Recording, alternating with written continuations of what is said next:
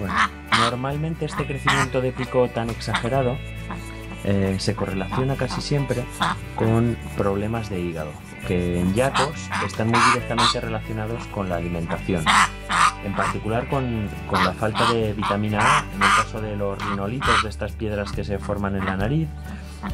y hepatopatías en general en relación a estos crecimientos tan exagerados que habéis visto aquí de- del pico.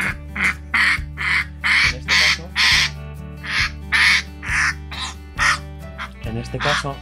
no, no le podemos limar más, aunque todavía necesitaría limarse un poquito, em, porque ya llegamos a, a la arteria y a la vena del pico y tenemos ya el riesgo de que haga sangrados exagerados. Los picos siempre se deben limar y nunca, nunca se cortan, siempre se liman, porque según limamos, la misma lima va cauterizando y, y,